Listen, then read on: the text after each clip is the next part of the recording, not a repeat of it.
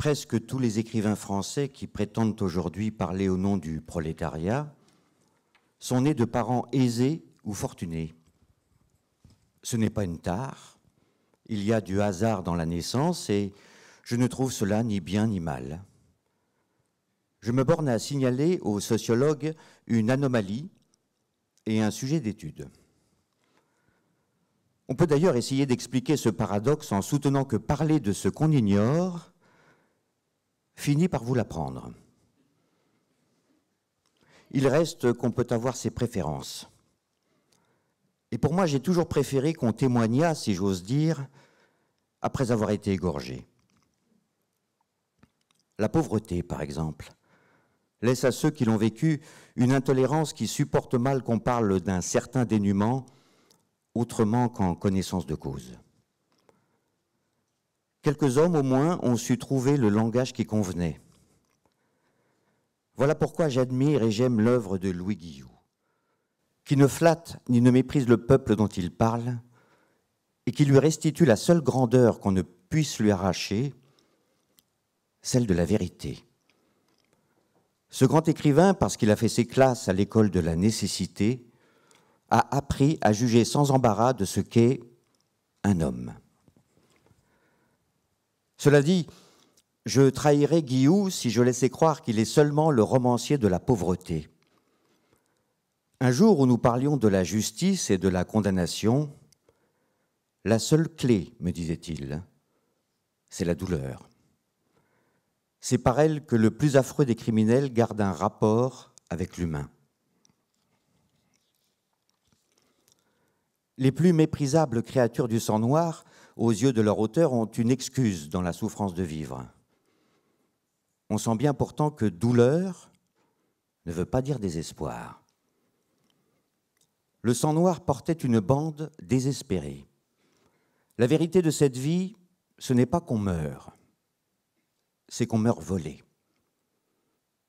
Et cependant, ce livre tendu et déchirant, qui mêle à des fantoches misérables des créatures d'exil et de défaite, se situe au-delà du désespoir ou de l'espoir.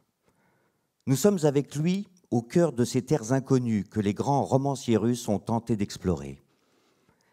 Les êtres y courent à leur fin, à la fois solitaires et confondus, identiques et irremplaçables.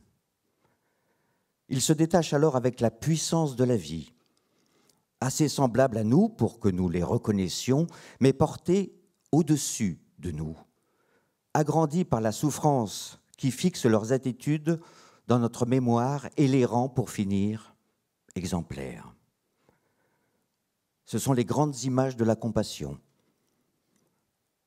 Voilà le grand art de Guillou, qui n'utilise la misère de tous les jours que pour mieux éclairer la douleur du monde. Il pousse ses personnages jusqu'au type le plus universel, mais en les faisant passer d'abord par la réalité la plus humble. Je ne connais pas d'autre définition de l'art. Et si tant d'écrivains font aujourd'hui mine de s'en écarter, c'est qu'il est plus facile d'étonner que de convaincre. Guillou s'est privé de cette facilité. Son goût presque désordonné pour les êtres la longue confrontation qu'il poursuit avec un monde intérieur grouillant de personnages l'ont porté presque naturellement à l'art le plus difficile. Pour moi, qui viens de reprendre tous ces livres, il ne fait aucun doute que cette œuvre ne se compare à aucune autre. Albert Camus.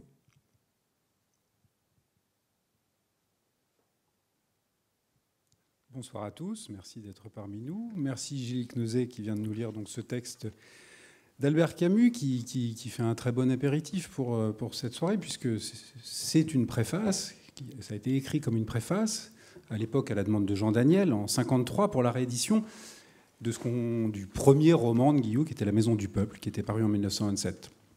Euh, C'était très émouvant de voir cette salle pleine pour entendre parler de, de Guillou, dont il y, a, un portrait là, qui a été tracé par, par Cabu en 1967 pour Le Monde. Guillou, dont il y, a, une pipe également qui se promène sur cette table. Euh, c'était très bien de. Enfin, ça me semblait très pratique de commencer par cette préface de Camus, parce que ça, me, ça, me, ça, me, dispense de vous expliquer très maladroitement pourquoi Guillou est un écrivain important. Euh, je crois que Camus le fait assez bien. Il met le doigt sur des choses assez importantes, dont on va reparler ensuite. Euh, euh, il rappelle au passage que Guillaume n'était pas n'importe quel écrivain, puisqu'il a eu les suffrages de Camus, mais aussi de Malraux, de Gide, d'Aragon, de Pasternak, de Jeanne d'Aby, de Maurice Nadeau, de beaucoup de gens qui étaient souvent de grands écrivains, mais aussi souvent des grands lecteurs. Euh, je ne sais pas à quel point je suis censé vous raconter la vie de Louis Guillaume en préambule.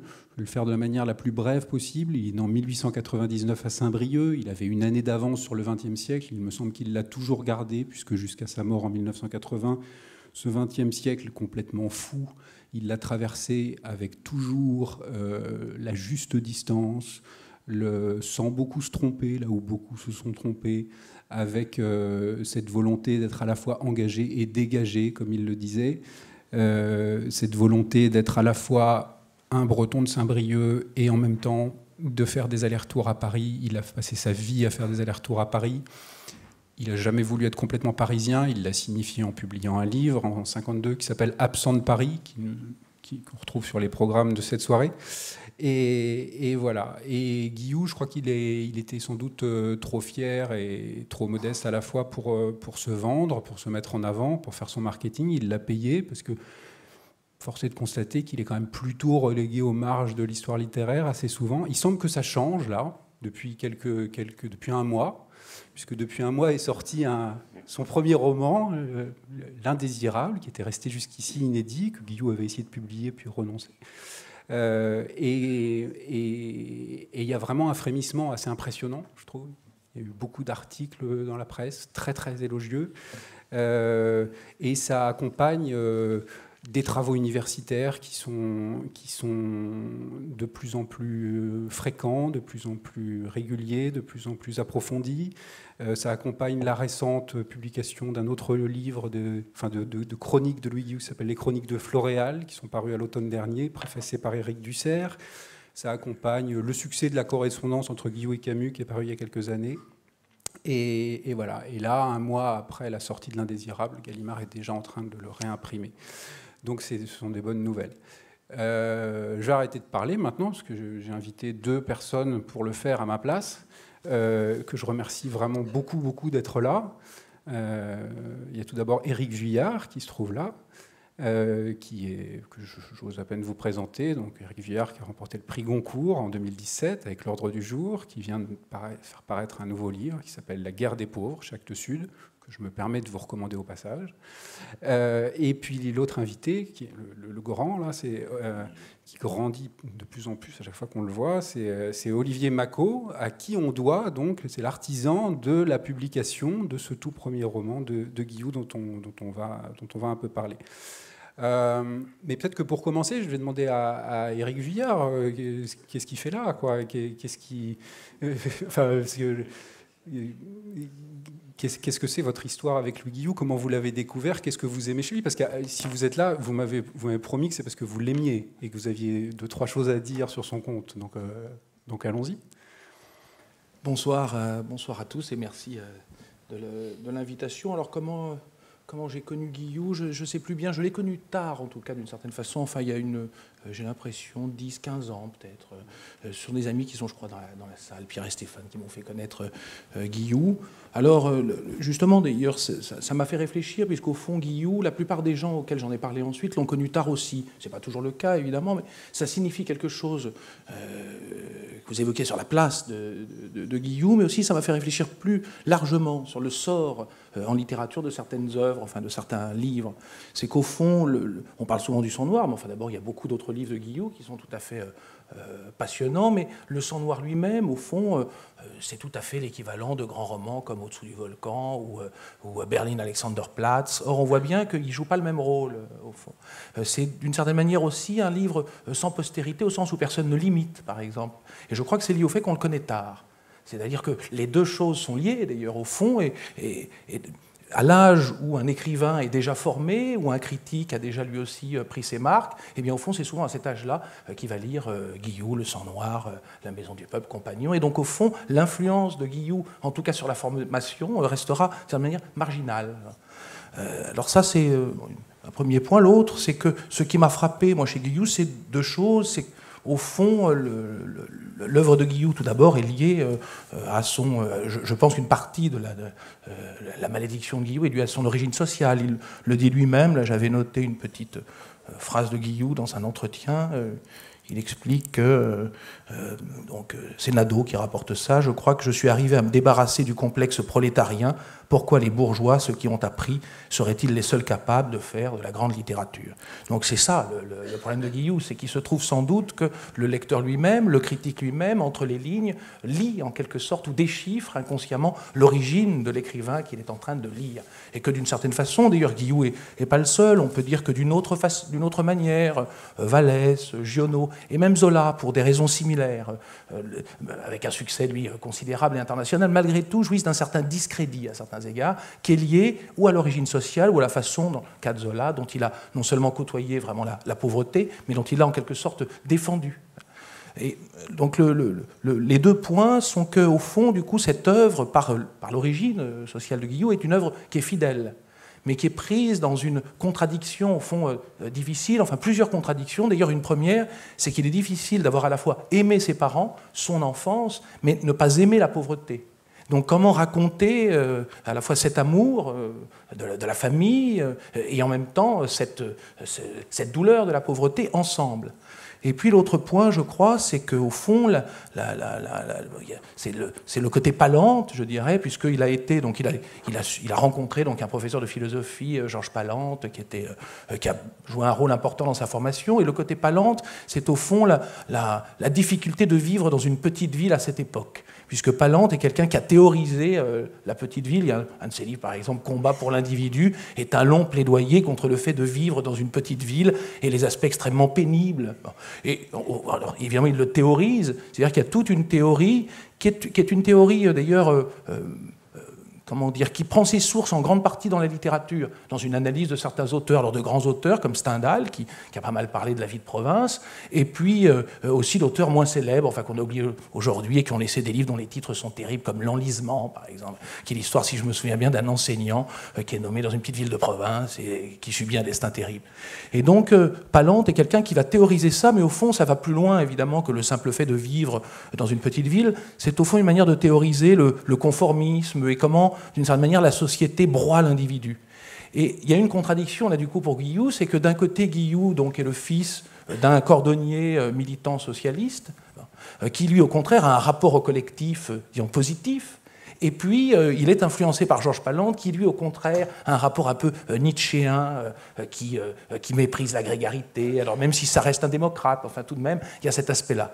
Et donc, chez Guillou et dans son œuvre, on peut dire qu'il y a ce balancement, qui est un balancement, au fond, qui, je crois, est central pour l'histoire de la littérature puisque d'un côté, on peut dire que le côté palante, le côté euh, que la petite ville permet d'exploiter, c'est-à-dire à savoir dans l'œuvre de Guillou, ce qui est très bien euh, toujours tracé, euh, l'ironie, un rapport, une, façon de moquer, de railler les conformismes, les, petites lâchetés, la façon dont un, groupe peut broyer quelqu'un, ce qu'on trouve dans le sang noir, dans l'indésirable aussi. Tout ça est une des voies de la littérature depuis qu'elle s'est libérée et assujettie des puissances, depuis la, Révolution française. C'est la voie ouverte par Balzac, au fond. On pourrait penser à la vieille fille, le curé de Tours, c'est pareil. C'est comment euh, un petit groupe d'individus, un milieu avec ses préjugés, va détruire quelqu'un. C'est une manière, au fond, de, de dégriser de, des, fables sociales, de la façon dont on nous présente, disons, euh, euh, conventionnellement la société euh, sous des aspects positifs uniquement. C'est une façon de, montrer le rôle de l'argent aussi, le rôle des petites vanités. Et puis d'un autre côté, il y a le père de Guillou, et là, c'est un, autre projet. C'est un autre projet qui lui aussi concerne la littérature, c'est une façon d'insister sur un aspect qui est profondément lié lui aussi à l'émancipation, mais d'une manière, disons, positive C'est-à-dire essayer de... Ça ouvre la voie à une forme de, réalisme fidèle qu'on trouve dans d'autres livres de Guillaume, un peu aussi dans l'indésirable, dans certains dialogues notamment, mais qu'on trouve beaucoup plus évidemment dans La Maison du Peuple ou dans Compagnon, où là, on a une, une, voix. Alors Zola a pu faire des choses de ce genre, on trouve ça aussi chez Vallès, mais toujours quand même avec plus d'ironie. J'ai pensé aussi, en en relisant des passages aujourd'hui, à Beppe Fenolio, un écrivain italien, ou à Juan Goitisolo, euh, quand il, quand il fait de la littérature documentaire. Et donc là, c'est une autre voie, c'est où la littérature penche vers la réalité, mais pas de la même façon. Pas pour en montrer, au fond, euh, en, euh, pas sous le registre, disons, illusion perdue, mais sous le registre, au contraire, d'une fidélité à la vie ordinaire. voilà, ça fait aussi de, de très beaux donc voilà les deux raisons pour lesquelles Guillaume m'intéresse. Merci beaucoup. Olivier Macot, ça vous semble pertinent ce, résumé avec ces, deux, pôles, là, le père d'un côté, Palande de l'autre? Euh, Complètement, c'est très pertinent parce que, comme vous le disiez, euh, effectivement, moi je verrais ça, disons, sous deux veines de, l'œuvre de Guillou, c'est-à-dire d'un côté la veine plus autobiographique, mhm. hein, celle effectivement qui se rapporte à la maison du peuple, Compagnon, ce n'est pas autobiographique, mais ça participe de ce même mouvement qui ira peut-être jusqu'au pain des rêves et qui donc une, euh, qui concerne le passé de Guillou, donc euh, euh, qui concerne une dette que Guillou a à l'égard donc de sa famille, hein, parce que lui-même, quand il va écrire, quand il va commencer même à faire des études, même s'il ne va pas obtenir le baccalauréat, il fait des études, il va même devenir boursier. Mmh. il devient, hein, c'est Guillou qui l'a précisé, le bourgeois de la famille. Et pour son père, donc ce militant euh, socialiste, euh, ce cordonnier qui a le portrait de Jaurès dans son échoppe, hein, donc qui, euh, qui chante l'international, voilà, devient le bourgeois de la famille, c'est vraiment l'insulte suprême. Hein. Et, donc il y a quelque chose effectivement de déchirant pour Guillou, parce que il aspire à cette carrière d'écrivain très tôt, hein, puisqu'il part dès, dès la fin de la guerre, il part à Paris. Hein, pour oui, à 20 ans. Quoi. Ouais, 20 ans, hein, dès 19 ou 18, je ne sais plus, mm. enfin 19. Euh, et, donc il aspire à devenir écrivain. Bon, c'est l'itinéraire habituel du, jeune provincial qui monte à Paris.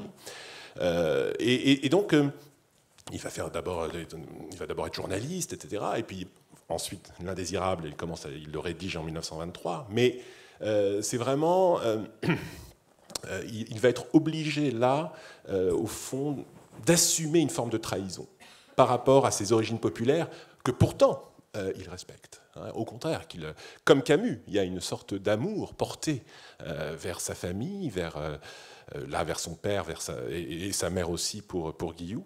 Et ça, c'est la veine autobiographique qui va tenter de défendre cet aspect-là.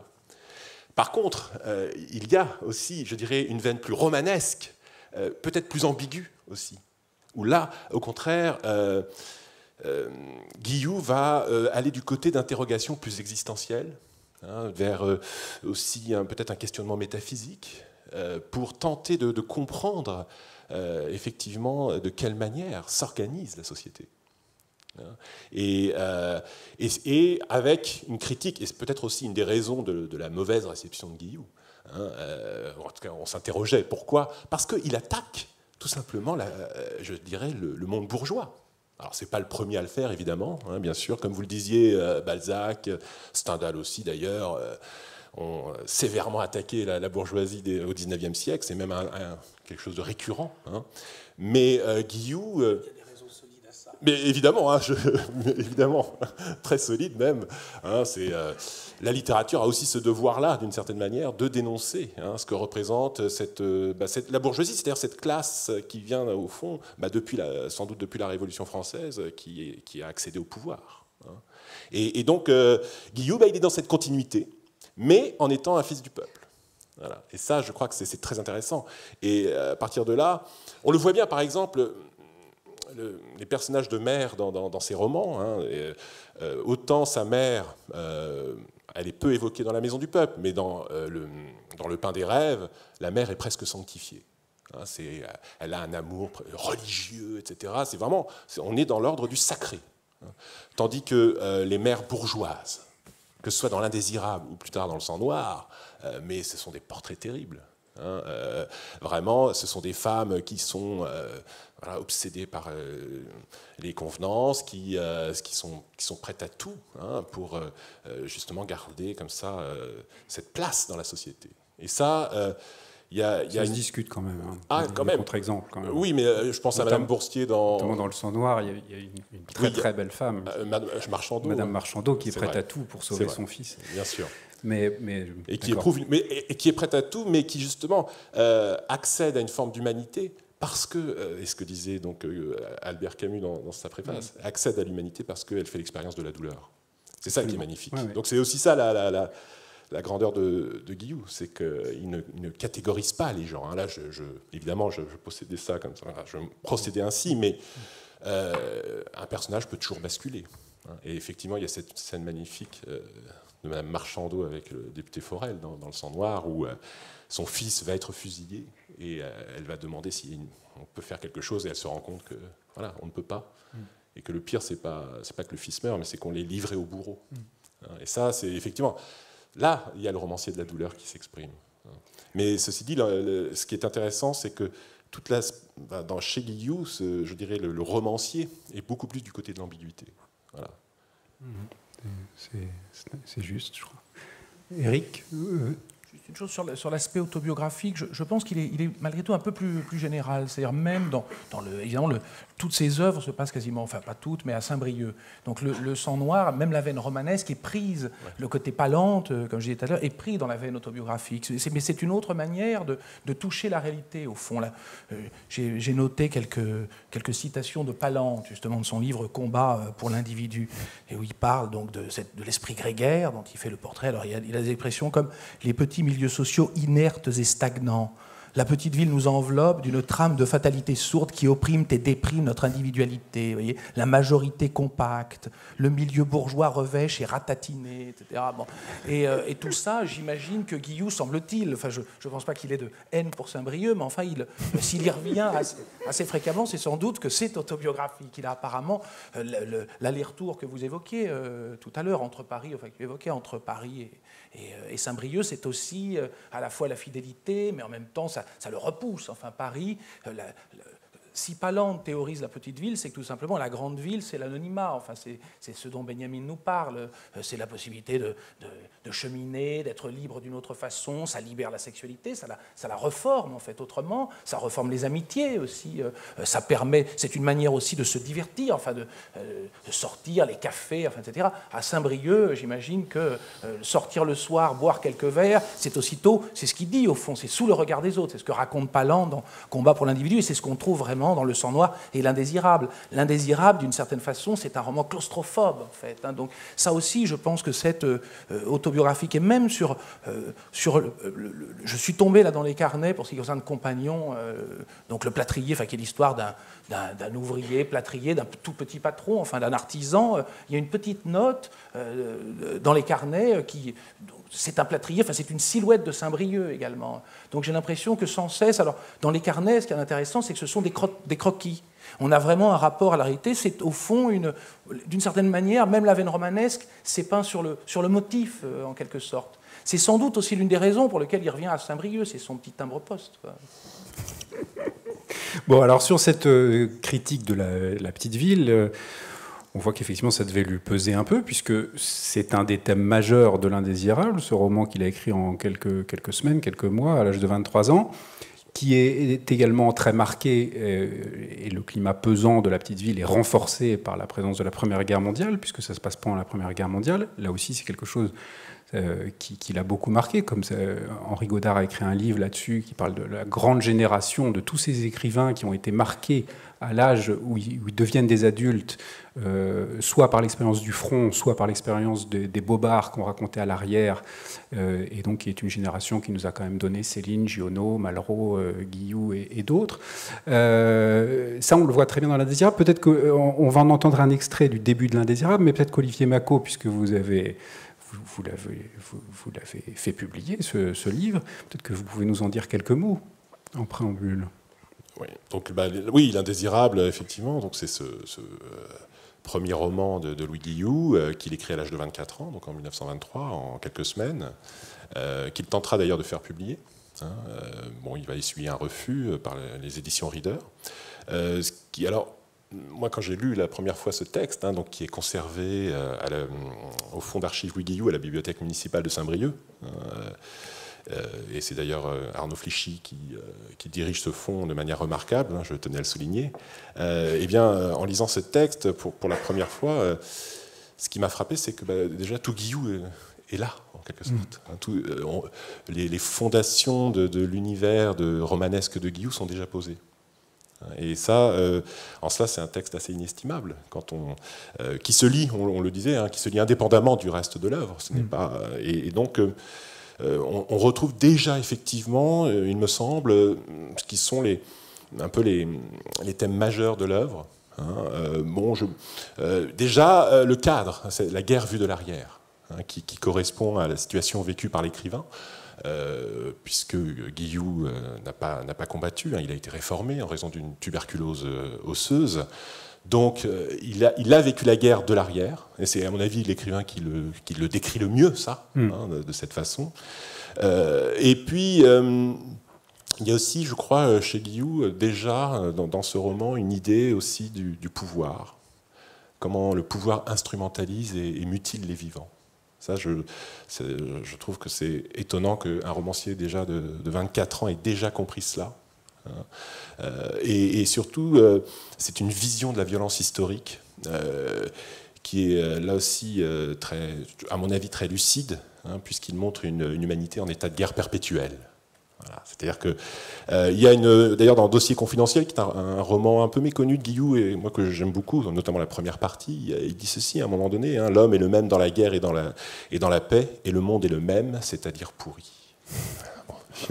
c'est une... d'un grand optimisme. Voilà, grand optimisme. Bah, avec, ce avec, ce qu'il a vécu, c'est difficile d'être optimiste, hein, euh, forcément. Mais c'est cette idée-là, au fond, que euh, la guerre, ce n'est pas un accident de l'histoire. On va, on va revenir sur cette question de, de, l'optimisme. Euh, et de son rapport à l'histoire. Mais peut-être que pour bien situer les choses, on peut écouter le, début de l'indésirable qui plante euh, assez bien le décor, un décor qui rend effectivement assez peu optimiste. On les avait entassés là, comme on avait pu, dans de méchantes baraques en planches, dressées à la diable dans une plaine. Cette plaine que fermait la rivière du Goulan et qu'abritait des vents de mer une colline garnie de ronces, n'était guère qu'à deux kilomètres de Belzec. On l'appelait la plaine de la Croix perdue, à cause de sa solitude, et d'un Christ de granit dont l'image mutilée se dressait au bord de la route, à 200 mètres du camp. On avait pris soin d'entourer le camp d'une double ceinture de fils de fer barbelés, mais il ne servait guère qu'à étendre le linge des prisonniers, l'été. Depuis les mois que durait la guerre, et qu'on avait rassemblé là des hommes, cueillis au hasard des gares et des villes, aux environs du 2 août 1914, nulle tentative d'évasion ne s'était produite. Ces hommes n'étaient peut-être pas satisfaits de leur sort, mais ils paraissaient bien résolus à ne rien tenter pour en changer. Le dimanche, les Belzétiens venaient les voir en famille. Ils se massaient sur la route et demeuraient là des heures. Quelques-uns apportaient dans des paniers à boire et à manger. Ils se montraient surpris de la vie facile en apparence des prisonniers, de la bonne santé des uns, scandalisés de la bonne humeur des autres, qui ne se gênaient pas pour rire si l'envie leur en venait. On leur en voulait surtout de ne pas travailler, d'échapper à leur guerre, de vivre tranquille, à l'abri et les Belzétiens se sentaient comme frustrés de quelque chose, empêchés d'exercer un droit. En effet, ils étaient frustrés de la douleur et de la souffrance de ces hommes. Quelquefois, ils les insultaient. Les lettrés les traitaient de Schwein. Les prisonniers qui n'en avaient cure allaient et venaient à travers le camp par petits groupes de trois ou quatre, têtes nues pour la plupart, des pieds dans des savates, les uns en loques, les autres quasi élégants, ils s'assemblaient selon leur goût ou leur nationalité. Il y avait là quelques Allemands, des Tchèques en nombre, deux peintres viennois qui trouvaient encore le moyen de s'intéresser à leur art, un étudiant bulgare arrêté au moment de passer la frontière, un Espagnol, retenu là Dieu sait pourquoi, des Français, produits de rafles dans la banlieue de Paris ou dans les faubourgs. Entre ces hommes, opposés par la langue, la race et la classe, s'étaient formées des habitudes communes. La guerre réalisant ici le miracle d'effacer certaines différences, dans la mesure où elle les accusait ailleurs. L'interprète, M. Lanzer, travaillait. Il dépouillait d'épais courriers, rédigeait des rapports, parcourait de lourds journaux allemands à l'odeur d'encre encore fraîche. Il apportait à ses besognes une patience et une conscience qui lui venaient d'habitude anciennement acquises à l'université. M. Lanzer était professeur d'allemand. Il y avait plus de 15 ans qu'il enseignait au collège de Belzec quand la guerre avait éclaté. Par miracle, on s'était souvenu de cela. Et le général qui commandait la place avait pensé que M. Lanzer rendrait de meilleurs services en remplissant dans un camp de concentration le poste de soldat-interprète qu'en montant une garde illusoire le long de quelques voies ferrées. M. Lanzer était un homme sans détour. Il avait l'âme droite, l'esprit clair et borné. Avec cela, un cœur tendre. D'autres, à sa place, n'eussent pas manqué de tracasser les innocents dont il avait la garde, en les harcelant d'interrogatoires, en supprimant leurs courriers, en les réduisant à la portion congrue, en les obligeant à des corvées pour telle faute, imaginaire ou réelle, comme il était en son pouvoir de le faire. Mais au contraire, son devoir n'était-il pas de soulager l'infortune de ces malheureux? Les prisonniers savaient le prix de la bonté de Lanzer. Il lui en savait d'autant plus gré que partout ailleurs triomphaient la haine et le meurtre. Ici, du moins, dans ce petit îlot, et grâce à Lanzer, un peu de paix demeurait. Mais Lanzer n'était pas de ceux qui assurent que la guerre est mauvaise et lui vouent leur haine. Il n'avait rien de commun avec les socialistes, qui sont de mauvais Français, des éléments de trouble et de discorde, des gens sans âme, qui identifient la patrie à leur ventre. Lanzer était un bon républicain qui tenait fermement à ses principes, principes, il est vrai qu'il n'avait pas choisi, mais qu'on avait choisi pour lui. Il était un républicain éclairé. Il savait, pour avoir lu des philosophes, que si la guerre venait à disparaître, le monde serait en deuil d'une de ses formes les plus grandes de beauté. Adieu alors l'héroïsme, et toutes les vertus cornéliennes. Il avait aussi des idées sur la patrie. Il savait qu'il faut défendre la patrie quand on l'attaque, qu'il n'est rien de plus beau que la patrie, qu'il n'est point de sort plus enviable que celui de mourir pour elle. Il savait cela. Et quand il parlait, il hochait la tête en homme qui sait ce qu'il dit et comprend la gravité de ses paroles.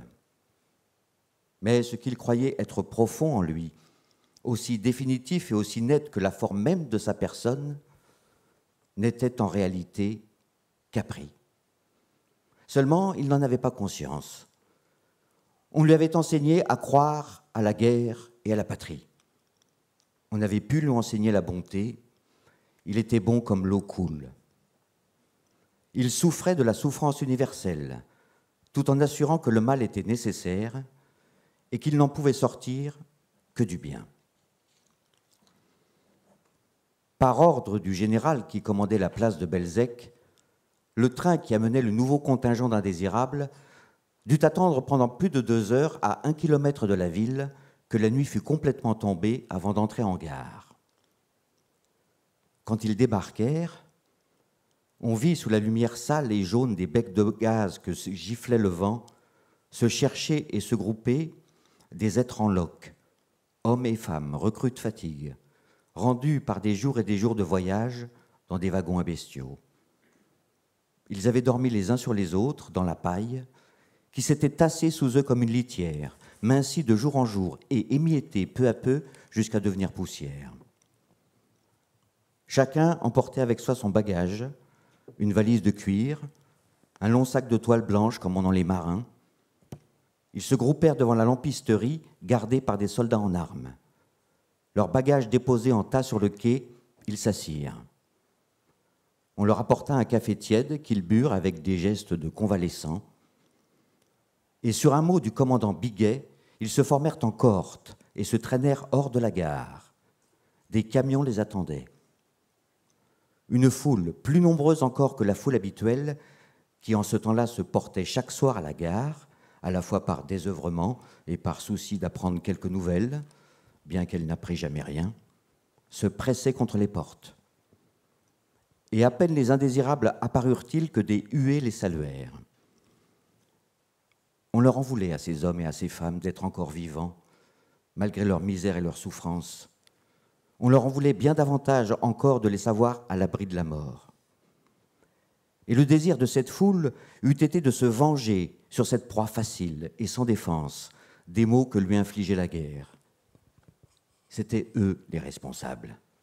Les véritables auteurs de la gigantesque tuerie, c'étaient ces pauvres êtres chancelants et plus morts que vifs. Quand les indésirables montèrent dans les camions, les cris de la foule redoublèrent. À bas les boches, à mort Le soir où les nouveaux indésirables arrivèrent au camp de la Croix perdue, on avait doublé les postes de garde. Les hommes étant en nombre insuffisant, M. Lanzer reçut l'ordre de ne point quitter le camp. Il s'installa dans sa baraque et s'étendit sur un lit de planche, cherchant en vain à s'endormir. Les scènes récentes auxquelles il venait d'assister occupaient trop vivement son esprit. M. Lanzer n'était certes pas assez habile pour y voir clair en lui-même, et le spectacle de cette foule qui s'était dressée tout à l'heure avec tant de haine contre les prisonniers lui laissait au cœur une profonde tristesse. Mon Dieu, mon Dieu, murmurait-il, est-ce possible? Jamais encore il n'avait senti chez une foule un désir de meurtre aussi irrésistible. Dans le silence de la nuit, les paupières closes, il revoyait ces visages tordus, ses yeux sanglants, ses bouches qui vomissaient la haine. Une telle profondeur du mal l'atterrait, et en même temps, il s'en voulait de n'être pas haineux à son tour. Ne pas avoir de haine pour ces hommes et ces femmes ennemis, n'était-ce pas là manquer à son devoir? Le devoir. Il soupira. Est-ce qu'il allait à présent discuter le devoir? Voyons, qu'est-ce qui lui prenait? Assurément, il avait la fièvre. Bien sûr, je ferai mon devoir. Le sommeil cueillit à ses lèvres une dernière fois le mot devoir. Il s'endormit.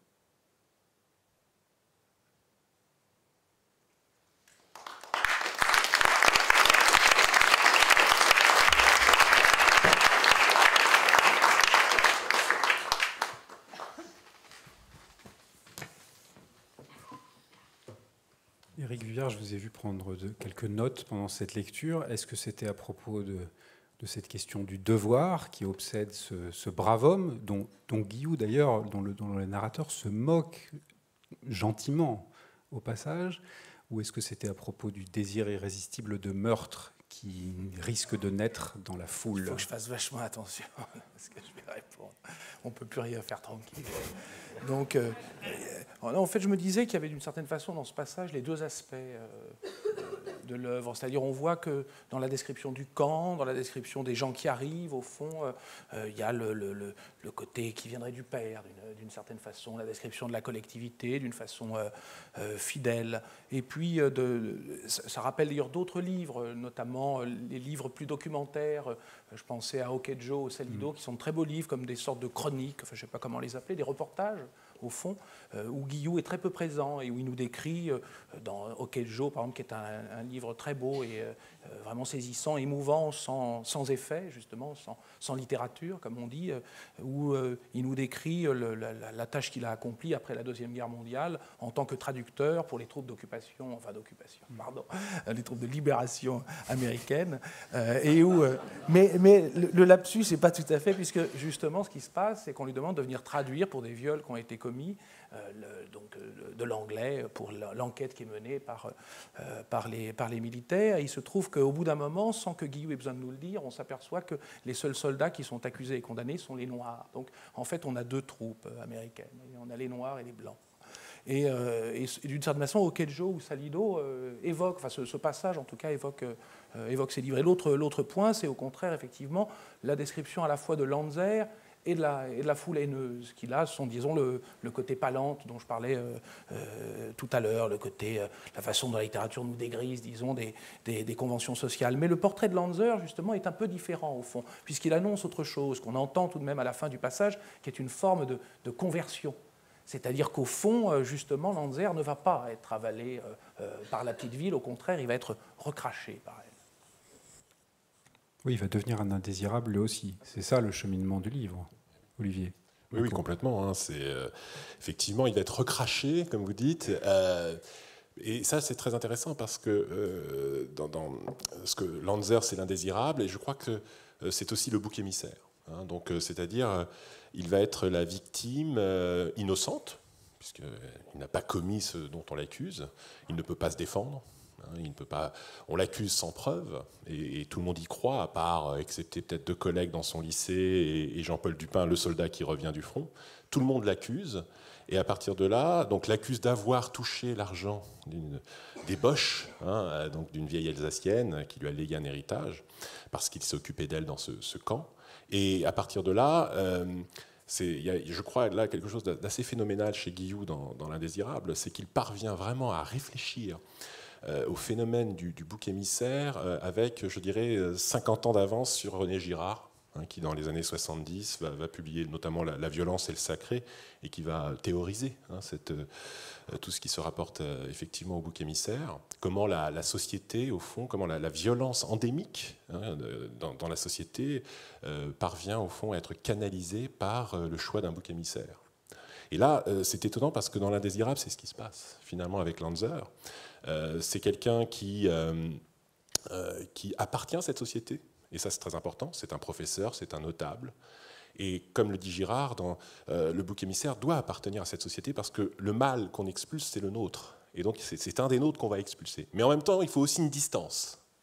Et cette distance, elle est du fait qu'il est quand même alsacien, hein, qu'il a accepter l'argent de la boche, comme disent euh, les Balséciens. Il est lui-même prof d'allemand, quand même. C'est toujours suspect, un prof d'allemand. Et il est prof d'allemand. En plus, à l'époque. Surtout en temps de guerre, pardon. En temps de... voilà. Hein, euh, suspecté d'espionnage très vite, sans doute. Hein, euh, ça, c'est, je, enfin, je, pense que c'est, quelque chose d'assez essentiel. Et, et, donc, à partir de là, euh, Lanzer, eh bien. Euh, va, de, va, entrer dans une sorte de, de, spirale dont il ne peut plus, il peut plus se débattre. Hein. Et alors, ce qui est, moi, je trouve, euh, c'est très cruel comment euh, finalement euh, Guillou nous montre la chute de Lanzer, parce que cet homme-là, il va être détruit par un monde dont il a toujours défendu les valeurs. Hein, c'est pas Cripure dans le sang noir qui est comme avec la veine palante, qui est un quelqu'un qui vit dans une forme d'anarchie permanente et, de contradiction. Là, c'est quelqu'un qui défend toutes ces valeurs et qui va être broyé par ce système-là. Et c'est le parfait bouc émissaire parce que comme le dit aussi René Girard, à un moment donné, il faut qu'il y ait un consentement de la victime. En partie, hein, c'est pas toujours évidemment, hein, mais pour que, euh, pour que vraiment là on arrive à une sorte de vérité consensuelle. Tout le monde l'accepte. Et, Lanzer ne se défend pas. Moi, c'est frappant dans, dans, dans, le roman. Il ne se défend pas. Hein, il est, euh, tout le monde l'insulte, euh, même les enfants, puisqu'il est professeur, se, se, se, se moquent, le chahutent, euh, on, les gens l'insultent aussi, ne le saluent plus. Bon, il ne se défend pas. Jean-Paul Dupin, donc ce, ce, soldat qui revient de la guerre, lui-même lui dit à un moment donné, mais faites quelque chose. Et il hausse les épaules. Non, parce que quelque part, il a lui-même, je crois, enfin c'est mon interprétation, hein, mais intégré cela. Il, il a, je ne sais pas s'il l'accepte, mais en tout cas, il ne peut pas se, se battre contre cela. Et, euh, et, et c'est ça qui fait aussi à la fois le côté euh, à la fois grotesque et tragique du personnage. Mmh.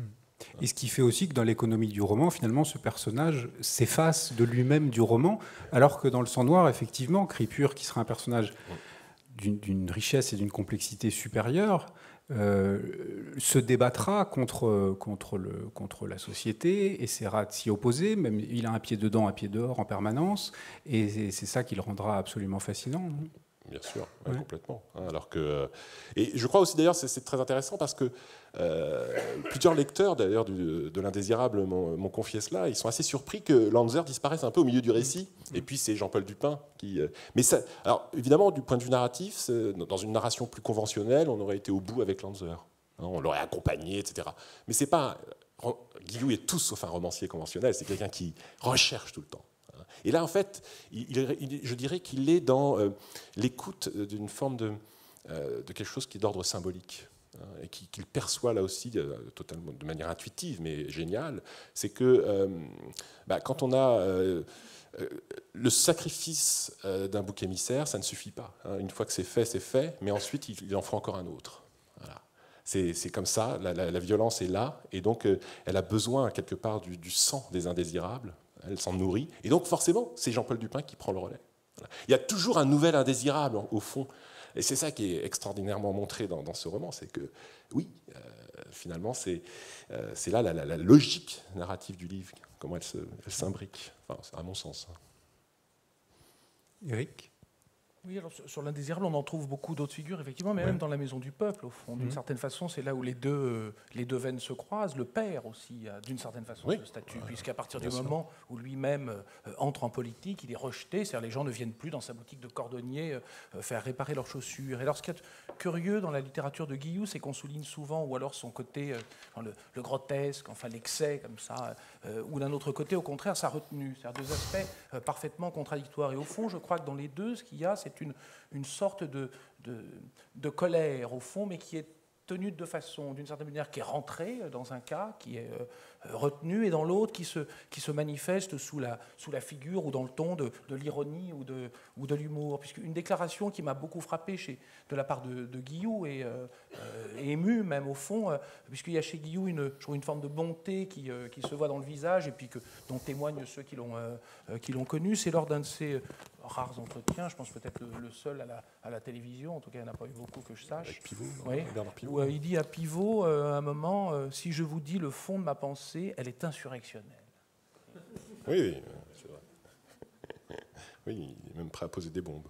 C'est-à-dire que ce qui est curieux, c'est qu'au fond, si on relit euh, son œuvre de, ce point de vue, euh, ce début qu'on a entendu, par exemple, effectivement, il y a de quoi être en colère. Il y a, une, enfin, on sent une, une, il y a une révolte. Euh. Oui, puis il faut décider. C'est-à-dire, ce personnage Lanzer est mis face au, face au mur. Il lui faut prendre une décision. Il lui faut se séparer du, du groupe, au contraire, consentir. Mmh. Et beaucoup de personnages, au fond, de, Guillou sont dans, sont dans ce cas-là, de, de différentes façons, que ce soit dans la veine disons, plus, euh, plus documentaire, ou alors Guillaume lui-même, d'une certaine façon, nous, nous place, nous et lui, dans cette position. Euh, Okejo, dont je parlais tout à l'heure, nous met dans cette situation.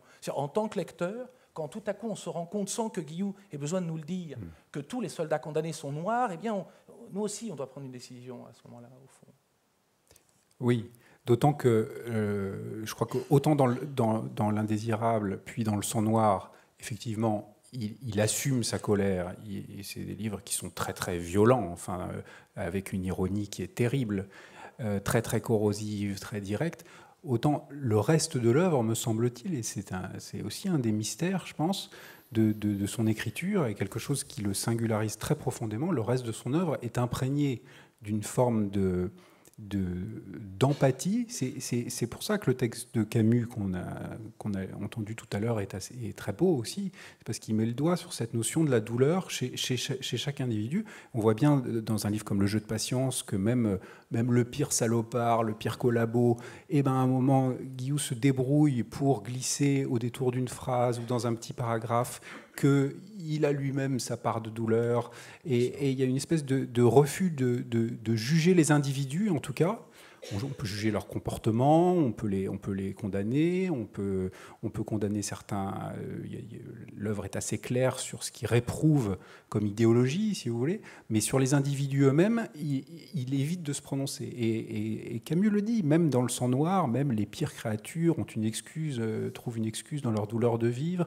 Et, derrière tout ça, il y a l'idée très chère à Guillou, qui répète qu'il a répété toute sa vie, qui est que on meurt volé, que la vie n'est pas ce qu'elle devrait être, euh, ce qu'elle pourrait être, ce qu'on pourrait en faire. Et, euh, là, il y a quelque chose d'assez de presque métaphysique aussi. Mais alors, je ne suis pas sûr, enfin, j'en sais rien, je suis pas sûr que cette phrase de, de Guillou concerne tout le monde. C'est-à-dire qu'au fond, on voit bien que Badoiseau, par exemple, on n'est pas tout à fait sûr qu'il mourra volé. Enfin, Badoiseau est, un des personnages qui est au voleur, Voilà, c'est plutôt un voleur. C'est plutôt lui qui fait que Lanzer mourra volé, que d'une certaine manière Jean-Paul aussi mourra volé. Mm. Bon.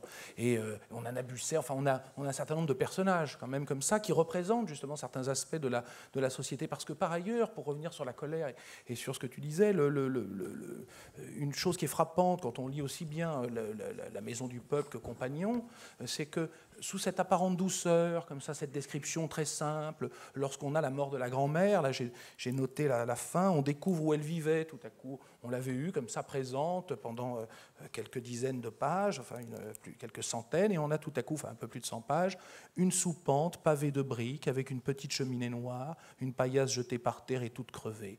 Quand sa fille l'emporte, donc elle emporte une petite vierge de plâtre et le marteau avec quoi sa mère raccommoda des parapluies toute sa vie fait que ça nous laisse dans une situation tout de même un peu problématique. Tout ça a l'air très doux, mais enfin, c'est d'une violence en fait euh, terrible. Dans Compagnon, c'est pareil.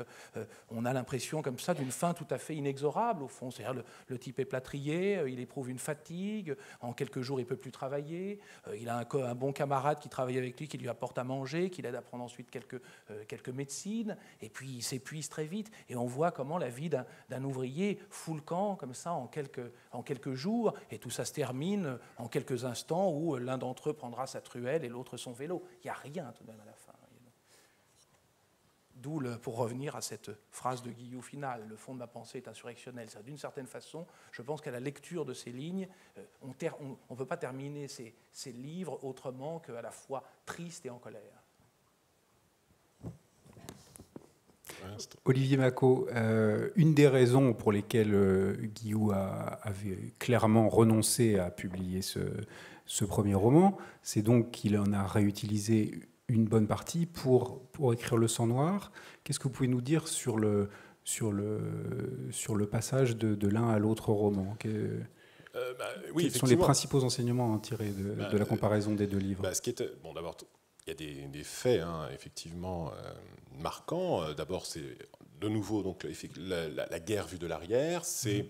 l'univers du lycée, très important. Hein, dans, dans, l'œuvre de Guillou, dans Dossier confidentiel aussi d'ailleurs. Le, lycée, comme au fond, chez Guillou, le lycée, c'est une sorte de, sas entre euh, le monde de l'arrière et le monde de la guerre, hein, puisque le, lycée de Saint-Brieuc avait été euh, en partie réquisitionné pour en faire un hôpital militaire. Et donc, c'est le, contact de, que Guillou a, au fond, avec la guerre, c'est au lycée, en voyant ces soldats. Euh, euh, voilà, blessé, parfois très, très gravement. Et, donc c'est là que se joue sa prise de conscience. Donc euh, il va installer son univers, une partie en tout cas, dans, le sang noir, bien sûr, et puis euh, aussi dans l'indésirable, avec plusieurs scènes dans le lycée. donc là, ça se retrouve.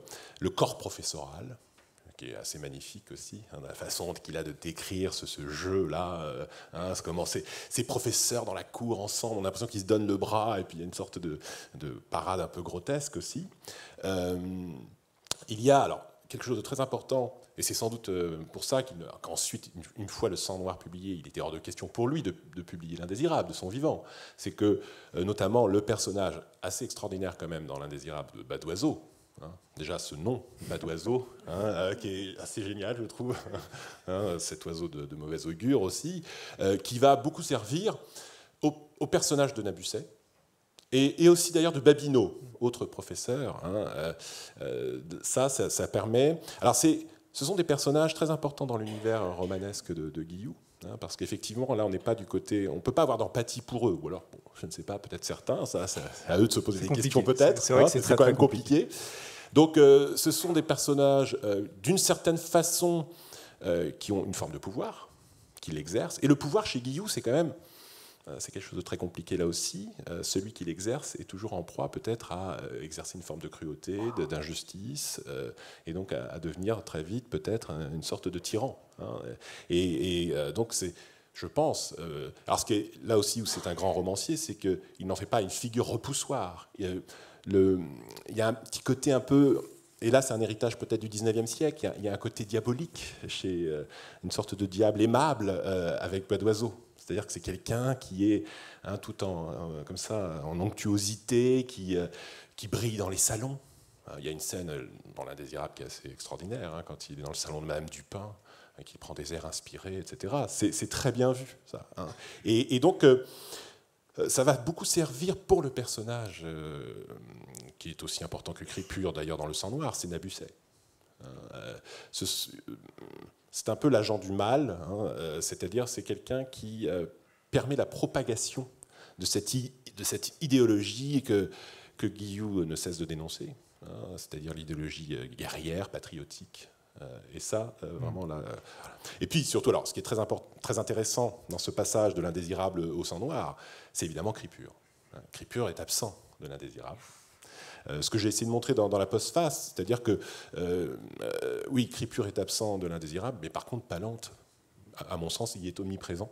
Hein, ce que vous disiez sur la majorité compacte, toutes les thèses soulevées dans le combat pour l'individu. Donc, cet essai de, Georges Palante, hein, qui, je le rappelle, est un philosophe libertaire aux, à l'inspiration anarchiste. Hein, euh, euh, évidemment, Guillou le fréquente depuis 1916, il est très proche de lui, ils vont finir par se brouiller. Donc, ça, c'est aussi en 1922. Euh, je crois, enfin bref. Et, euh, donc, euh, il est totalement imprégné des idées de, Palante à travers ses échanges.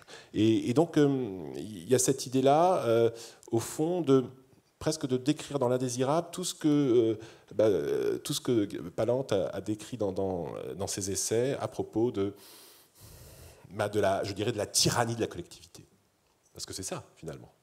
Comment Palante lui défend l'individu c'est son combat à l'époque c'est quand même très révolutionnaire Hein, euh, il défend cela, et, euh, donc, euh, au fond, il, nous le montre aussi d'une certaine manière dans, l'indésirable.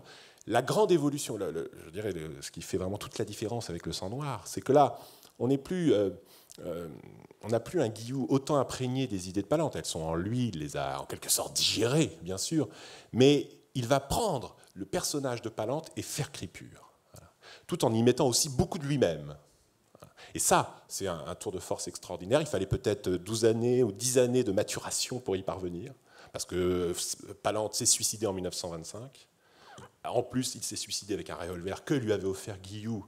Donc vous imaginez, ça joue encore là. Hein, pour lui, c'est c'est quelque chose qui le poursuit toute sa vie. Hein. Même dans les derniers entretiens qu'il donne, il parle encore de Palante. Hein. dans, sa correspondance avec Camus, il y a une lettre euh, extrêmement longue, et extrêmement détaillée, où il s'explique là-dessus.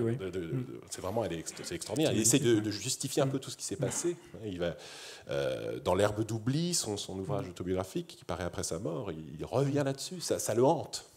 C'est très important. Et finalement, il, et puis il, tente aussi de se défendre parce que son entourage l'a accusé avec ripure au fond d'avoir sali la mémoire de Palante. Or, c'est faux. Hein. je pense qu'il euh, a su au contraire dire. Alors, oui, c'est dur, c'est dur ce qu'il montre de, Palante dans Crépure, mais c'est ça. Un écrivain n'est pas là pour, euh, euh, pour, quelque chose de confortable, il est là pour dire une forme de vérité, d'une certaine façon. Et il le fait. Hein. jamais, sans doute Palante a été mieux cerné que dans le personnage de Crépure. Et du coup, on parle de Palante ce soir. Euh, peut-être que pour illustrer ce, passage de l'indésirable au sang noir, on, pourrait faire revenir Gilles Kneuzé, à, moins qu'Éric, vous vouliez dire un petit mot. J'avais juste une, chose sur justement en fait, comme toute littérature sérieuse, elle est indexée à la vérité. Alors elle peut l'être après de plusieurs manières. Enfin, ça peut s'illustrer dans, plusieurs genres. On peut dire ce qui est frappant chez Guillou, c'est moins la différence entre ses livres que, notamment dans Le Sang Noir, le fait très curieux qu'on a l'impression de glisser d'un genre à l'autre sans s'en rendre compte. C'est-à-dire on est par moments dans le drame, par moments dans le réalisme social, à d'autres moments au contraire on a des, scènes presque swiftiennes. On a le sentiment que c'est les, euh, euh, comme dans l'île où il y a les, petits boutistes et les gros boutistes euh, qui se battent pour savoir si on doit bouffer un œuf par un côté ou l'autre on oublie les enjeux politiques tant la vie sociale semble absurde, c'est-à-dire il, prend par tous, les, par tous les bouts, du coup, le, théâtre de, cette vie. Et au fond, ce qui a de, point justement où c'est indexé à la vérité, c'est que je crois que Guillou essaie de, ne pas oublier une impression qu'on connaît tous et qu'on a tous sur la vie sociale. Euh, pour en donner une illustration euh, contemporaine, on a vu il y a, quelques jours euh, quelque chose qui n'est pas du tout une scène provinciale, enfin pas priori, euh, qui est une scène où des intellectuels parlaient avec le président de la République. C'était une scène délirante, quand même. Vous voyez, chacun d'entre nous a, eu un frémissement de s'imaginer dans cette salle un instant à devoir parler après les autres. Vous n'y êtes pas allé, d'ailleurs? Euh, Non, pas du tout. Mais vous voyez, c'était quelque chose de très curieux, quand même. Et donc, je crois que. On peut tous partager le sentiment, à ce moment-là, euh, bizarre, le frisson qui nous parcourt, et puis après on le refoule, on l'oublie aussitôt. On est pris par l'esprit de sérieux, on est occupé par le, drapé de l'histoire, le drapé de la politique. Et au fond, la, littérature, depuis Balzac, c'est-à-dire depuis qu'elle s'est euh, désassujettie les puissants en partie, pas entièrement, euh, pour preuve, d'une certaine façon, nous, nous raconte ça. Balzac, c'est nous raconter ça, c'est nous raconter que sous ce vernis, sous le vernis apparent comme ça de la, de la du, discours, eh bien, il y a une autre prose, en fait, et que cette prose, on la connaît. C'est ce qui nous fait rire quand on le lit. Quand on lit euh, euh, ces descriptions, je sais pas, de la, je parlais du curé de Tours tout à l'heure, de toutes ces manœuvres faites par les curés, en fait, on reconnaît d'autres milieux sociaux que, euh, qu'on a fréquentés soi-même. Et au fond, c'est, ça que nous raconte Guillaume sans cesse dans des registres différents. Le, mm. Et ça, je crois que c'est un des, une des caractéristiques, au fond, de l'activité romanesque. On retrouve ça dans, je sais pas, Zola, la conquête de Plassans, on retrouve ça dans les beaux quartiers d'Aragon, c'est-à-dire cette, façon de ne pas oublier cette impression première que d'une certaine façon la science sociale elle-même en partie refoule également par la distance qu'elle instaure à son, objet. La littérature, elle au contraire, je parlais d'empathie, s'en rapproche, se tient proche. Mais l'empathie, euh, c'est aussi féroce euh, par moments d'une certaine manière. Merci. Effectivement, sur cette variété des registres dans le son noir, je suis retombé sur une phrase de Marcel Arlan, qui a été écrite à l'époque de l'apparition du son noir. Il disait c'était une comédie de la biche revue par Jarry, et jouer dans les ténèbres de certains romans russes. Donc il y a un peu de ça. On va voir si on le retrouve dans les, les extraits que va nous lire Gilles Knozé, qui va d'abord lire un, petit extrait de l'Indésirable, qui est le retour de Jean-Paul, donc ce, soldat mort au front, qui revient dans sa ville, qui n'est pas tout à fait accueilli comme il l'espérait par ses parents et ses concitoyens, et, et ça va être suivi de deux petits extraits du Sang Noir.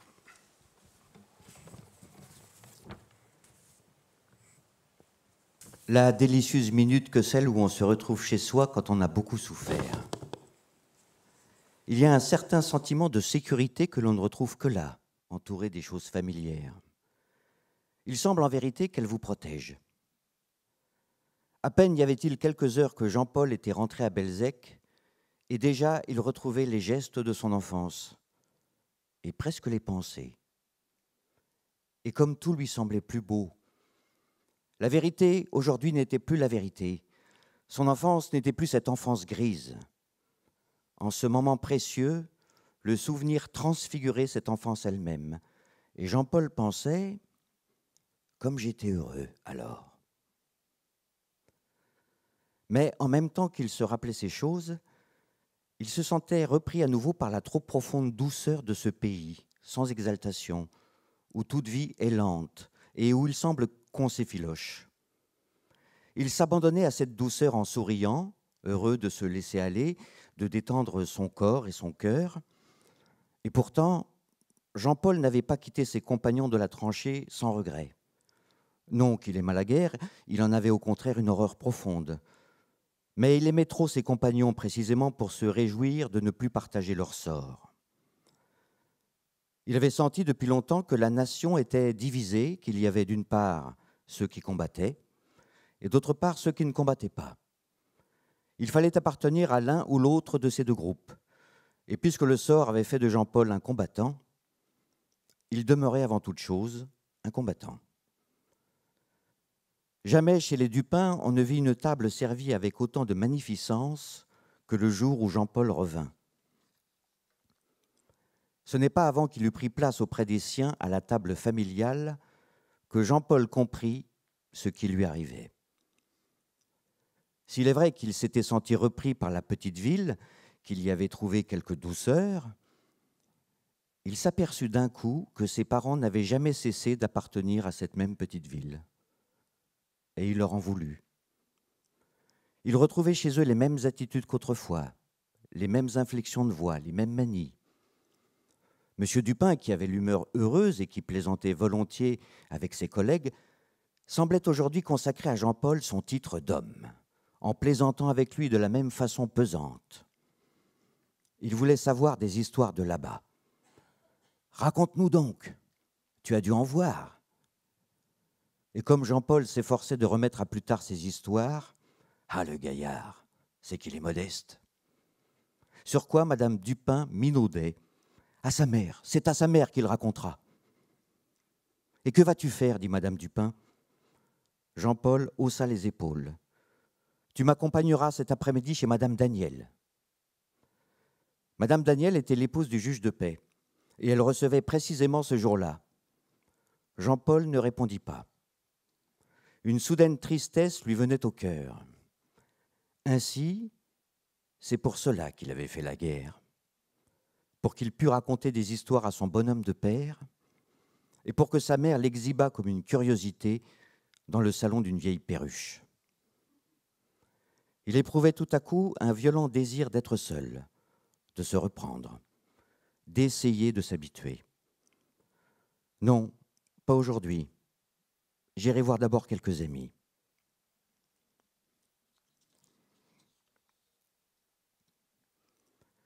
Nabusset s'approcha de la cheminée comme un poète de salon. Il tira de sa poche un rouleau de papier. Monseigneur, mon général, monsieur le préfet, mesdames, messieurs, il s'inclina devant madame Forel, madame, et de sa belle voix de violoncelle, il entama son discours. Cripure baissait la tête, cachait son regard, noir de colère. Quelle comédie et quel comédien À aucun moment il ne leur viendrait à l'esprit de dépouiller leur déguisement, de renoncer à débiter leurs fables, si péniblement apprises. Un ruban rouge, oh nom de Dieu Ce qu'il leur faudrait, ce ne sont pas des rubans, pas des médailles, mais, ah non, pas des rubans. En bonne justice, il faudrait leur remettre aux uns une tête, aux autres une jambe ou un bras. Que serait cette Madame Forel, avec la tête de son valet de chambre accrochée par le cheveu à son sein? Et Nabusset, avec une jambe rivée à la boutonnière de sa requimpette, et ainsi de suite. Aux femmes amoureuses, aux belles Iseultes, on ferait de splendides colliers avec les yeux pétrifiés de leur Tristan.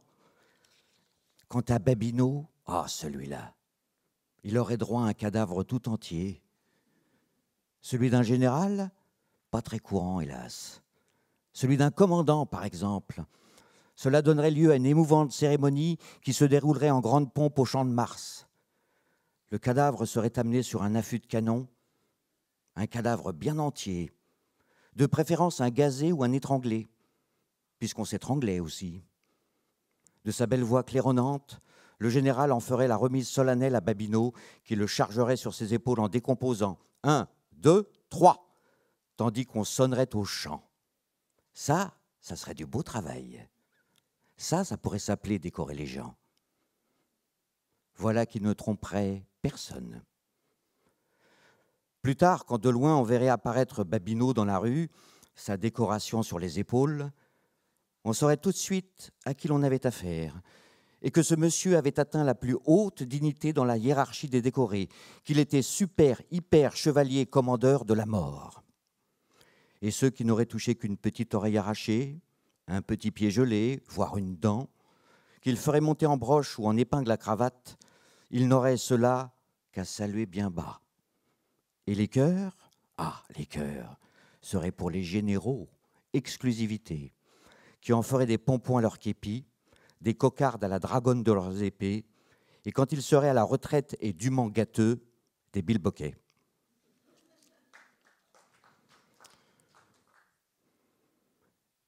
C'était la première fois que Cripure passait inaperçu dans une foule. Personne ici ne songeait à le regarder, à le montrer du doigt, à s'étonner, à s'apitoyer ou rire. Et pourtant, il était plus comique et pitoyable que jamais dans son effort pathétique pour échapper à cette foule coléreuse et gagner quelque part un refuge. Pour comble, il se mit à pleuvoir, une pluie grise, oblique et froide. En moins d'un instant, l'eau ruissela sur le visage de Cripure. Il y voyait à peine. Les cris autour de lui faisaient un bruit de rafale. Il s'appuya de la main sur une épaule. L'homme tourna la tête. Il était entièrement défiguré. Tout le bas du visage, arraché et recousu, ne formait plus qu'un bourrelet de chair rosâtre et granuleuse. On aurait dit une éponge. Les yeux pleins de fièvre de l'homme se fixèrent sur Crépure avec colère, puis s'adoucirent.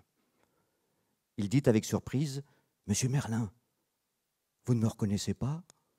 Pas étonnant. J'étais pas comme ça la dernière fois que je vous ai vu. Il se nomma Matro. Non, murmura Crépure. Non, pas possible. Pas toi. Le fils d'un de ses locataires. On lui avait bien dit qu'il avait été blessé, mais. Il se pencha. Pas facile d'entendre ce que disait Matro dans ce tumulte. C'est un pavé qui m'a fait ça, projeté par un obus, et il m'y renvoie. Et ça va faire la. Ses paroles furent noyées dans le vacarme. La cinquième fois. La main de Cripure se crispa sur l'épaule de Matro. Il eut un mot de pitié, quelque chose comme Pauvre petit. Mais l'autre se retourna tout entier. De quoi? Cette fois, il avait crié assez fort pour se faire entendre. Sans blague, des hommes comme vous, qui nous ont laissé tomber. Empoignant Cripure par le col de sa peau de bique, comme prête à le secouer, il le regarda droit dans les yeux. Je me fous de votre pitié, vous entendez? Et se taillant un chemin dans la foule à coups d'épaule, Matro disparut en hurlant. On n'est plus des hommes, on n'a plus le droit de rien, tous des vaches, c'est tous des vaches, les copains, c'est tous des vaches. Longtemps encore, parmi la clameur des autres, Cripure entendit la voix. Tous des traîtres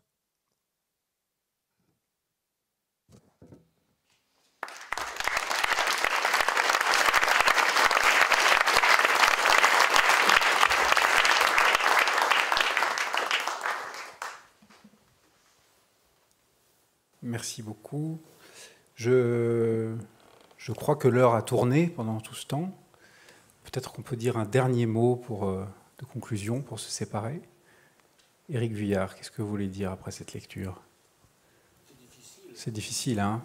C'est difficile avec cette lecture. Encore une fois, justement, on voit comment euh, le, l'art de Guillou, enfin, mais plus que l'art au fond, enfin, cette, ce rapport très fort à la, à la vérité fait, fait glisser euh, euh, son récit sans cesse. Enfin là, on en a une, illustration très forte puisqu'on est d'abord euh, dans une scène un peu grotesque, enfin justement un peu swiftienne, mm. avec toutes ces décorations qui est d'ailleurs en elle-même à la fois émouvante et, et comique, mais, mais son comique cache au fond aussi une, une, une, colère et une émotion très forte. Et puis tout à coup, on est, on est saisi par, ce, par cette rencontre qui nous ramène à toute autre chose, enfin, à la vérité prise autrement, au fond, face à face. Mais là encore, on il glisse à nouveau. On s'attend euh, à ce que ça s'achève et ça s'achève pas là. Au fond, ça s'achève.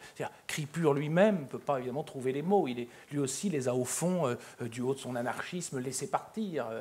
c'est sous une forme un peu dingue ce que lui reproche comme ça le, jeune, le jeune conscrit. Donc on voit bien que le rapport que Guillaume entretient à la vérité lui demande sans cesse d'adopter un ton nouveau, au fond. C'est ça que je trouve vraiment frappant dans ce, dans ce passage. Avec une façon de montrer les limites de la parole, qui est quelque chose de, très moderne aussi, qui est tout le temps là. C'est-à-dire que les Nabucés utilisent la parole de manière euh, délétère, il le leur reproche beaucoup, il fait le procès de ce mauvais usage de la parole. Écrit pur, là lui-même, est, euh, peut plus payer de mots, puisqu'il est face à la réalité dans sa, dimension la plus, la plus, la plus abominable. Il est vraiment question, mm. justement, enfin, euh, tout à l'heure, euh, je sais plus, vous parliez, je crois, du, du, du, déguisement, au fond. De, là, on entend ces mots-là, déguisement, euh, fable, ruban, enfin, donc, c'est, je crois, l'un des rôles, justement, de la, de la littérature, enfin, l'un, de, l'un, de l'un de ces penchants les plus, les plus forts qui visent, au fond, à faire arracher le masque, en quelque sorte. Et l'un des mots les plus forts qu'on entend dans ce passage, c'est, enfin, à ce moment-là, ça ne, ça ne tromperait personne. Et si on voyait, justement, une jambe ici, etc., donc c'est de ça dont il, il s'agit. C'est le, théâtre qu'on évoquait tout à l'heure, au fond, ce théâtre de la vie sociale que la littérature tente, elle, de, défaire, au fond. Donc à l'inverse, je crois que ce qu'on entend dans ce passage précisément, c'est qu'à l'inverse de ce qu'on nous dit souvent, ça n'est pas la littérature qui est du côté de la fiction. C'est pas une fiction que l'on vient d'entendre. Ce qui était une fiction, c'était à l'époque le discours des généraux, c'était le discours des politiques, c'était ça la fiction. Olivier Mako, vous voulez dire un dernier mot? Oui, bah, par rapport à, oui, pour faire écho à ce passage, euh, ce qui est, et ce rapport à la vérité, hein, c'est aussi, moi, ce qui me trouble aussi dans, le passage concernant ces décorations, c'est la vérité des corps. Parce que ça, c'est les corps aussi sont, euh, reviennent sans cesse. Et euh, oui, on les a vendus, les soldats, ils ont été volés, on les a vendus, leurs corps ne leur, ne leur appartiennent plus. Et ça, Guillaume veut le dire, le, montre. Et dans cette scène, ce qui est génial, c'est qu'il le fait effectivement de manière à la fois comique et aussi terriblement voilà, tragique. Euh, et il montre ben que euh, ceux-là, les, les Nabucets, etc., sont, euh, ça me fait penser à une expression de, Chateaubriand, hein, qui, à propos des révolutionnaires. évidemment, Chateaubriand pas du côté des révolutionnaires, on l'aura compris, mais il les appelle les amants de la mort.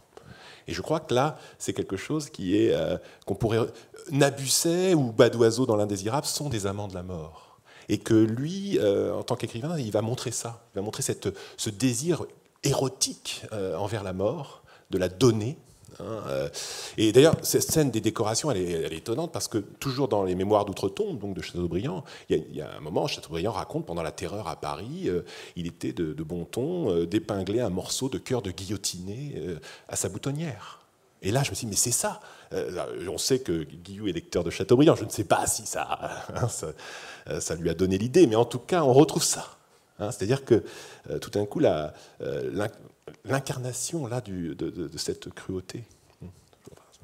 Juste une, dernière chose, c'est sur justement sur ces tons euh, très différents. Je crois que ce qu'on entend, ce dont on fait l'expérience, c'est que le, discours euh, contient tous, d'une certaine façon, qui consisterait à penser que, l'humour, le, grotesque, au fond, sont des manières d'exagérer, bon, pour faire voir un peu la réalité. Mais enfin, euh, ce dont on s'aperçoit, c'est que c'est au fond un mode de connaissance, au contraire. C'est-à-dire que, d'une certaine façon, toute cette scène est une façon de, comprendre quelque chose, de le, de le, saisir. Et on ne pourrait pas le saisir sans cet humour, mmh. sans cette confrontation tout à coup tragique et ce glissement à nouveau à la fois douloureux et, et comique de la fin. C'est-à-dire que l'ironie ou, le, ou les, euh, disons, les, tonalités affectives sont aussi des moyens de, savoir. le savoir n'est pas seulement produit par la neutralité supposée d'un dispositif de connaissance. Merci beaucoup. Je vous remercie beaucoup tous les deux. Je remercie Gilles d'être venu lire. Euh, je vous remercie tous d'être venus euh, nous écouter jusqu'au bout.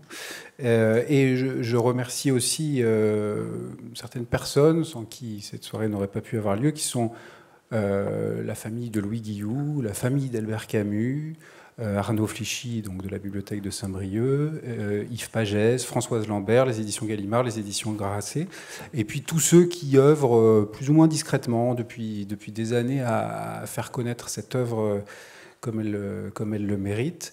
voilà, enfin, bah, on remercie beaucoup la Maison de la Poésie quand même de, de nous avoir offert un toit. Et puis, je remercie le véritable artisan de cette soirée. Je voudrais juste, j'ai oublié de le dire quand j'ai parlé d'Arnaud Flichy, ah remercier Frédéric Laurent, le petit-fils de Louis Guillou, qui m'a fait découvrir ce texte. Voilà, si vous voulez. C'est important. Très bien. Alors, merci aussi. Et merci Gilles Renaud, l'infatigable, qui a tout organisé en coulisses. Alors, avant que vous nous séparions, moi, je voudrais remercier les soutiens financiers, les partenaires, les complices quelques-uns déjà autour de cette table, qui nous ont permis de vous offrir cette soirée autour de Guillou. Alors, remerciements chaleureux à Loïc Chenet-Girard, aussi le président du Conseil régional de Bretagne. Les Bretons sont un peu en force ce soir. À Jean-Michel Le Boulanger, tout spécialement premier vice-président chargé de la culture et de la démocratie du Conseil régional, Conseil régional de Bretagne, qui dès le début, nous, qui est un grand admirateur de Guillou et qui dès le début nous a soutenus et a tout impulsé pour entraîner, qui est représenté ce soir par euh, Thierry, qui doit être là, Thierry Lunédic, directeur de la culture. Thierry, merci pour eux. Euh, Alain Cadec, président du conseil départemental des Côtes d'Armor. Tout le monde est réuni autour de Guillou, c'est génial. Thierry Semelière, vice-président du Conseil du Culture et Patrimoine du département de Côtes d'Armor. Marie-Claire Durion, maire de la ville de Saint-Brieuc. Christian Daniel, adjoint à la culture et patrimoine et à la vie associative de la ville de Saint-Brieuc. Christian, merci d'être là.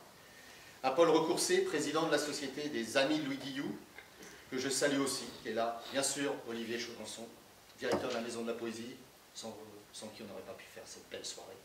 Merci Olivier, merci, merci vraiment. Et puis je remercie aussi Claude Duty, Duty dirigeant de Cloître Imprimeur, voilà, qui est le premier imprimeur de Bretagne et qui nous a fait un très joli programme ce soir. Et je le salue, il est là parmi nous. Voilà, merci pour.